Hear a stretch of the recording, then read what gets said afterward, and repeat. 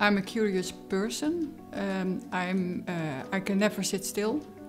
So uh, I, I always want to do something. As a child, I uh, started organizing events for my friends.